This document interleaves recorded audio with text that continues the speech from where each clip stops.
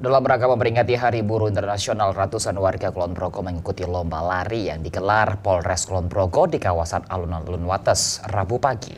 Dalam acara bertajuk Mayday Fun Run ini, para peserta nampak berlari dengan mengenakan bermacam kostum unik, mulai dari baju daster yang biasa dipakai ibu-ibu rumah tangga hingga pakaian daerah.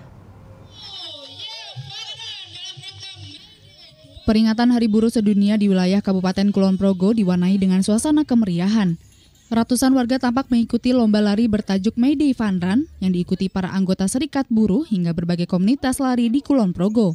Peserta pun tampak berlari menggunakan berbagai kostum unik, mulai baju adat atau pakaian daerah, pakaian buruh tani, hingga pakaian dokter dan baju yang biasa dipakai sehari-hari.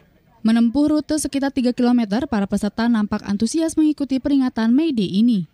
Selain untuk memperingati Hari Buruh Internasional, ajang ini juga digelar untuk memotivasi masyarakat agar dapat menjalani hari dengan penuh kegembiraan serta tetap menjunjung tinggi kearifan lokal masyarakat yang ada sangat menarik karena ini dalam rangka Hari Buruh ya. Jadi uh, kita berpartisipasi memperingati Hari Buruh dengan mengadakan fun run ini. Jadi semuanya kan bersatu padu ini dalam satu pelarian biar semuanya bersatu padu damai sejahtera.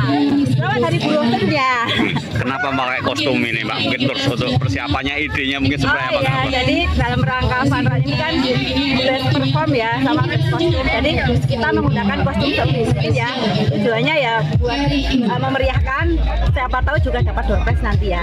Mengusung tema fun run sehingga mungkin kalau kita memakai eh, baju-baju uh, yang biasa untuk uh, lari itu sudah lumrah. Namun uh, terkait khusus hari ini kita bersama-sama dengan rekan-rekan uh, pekerja buruh khususnya di Kabupaten Kulon Progo kami ingin uh, mewujudkan atau memotivasi bahwa kita harus menjalani hari ini dengan penuh riang dan gembira.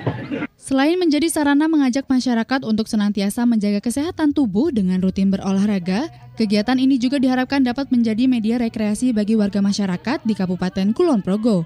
Dibuktikan dengan banyaknya hiburan serta door prize yang dibagikan bagi setiap peserta. Demikian Jatmiko Hadi melaporkan dari Kulon Progo.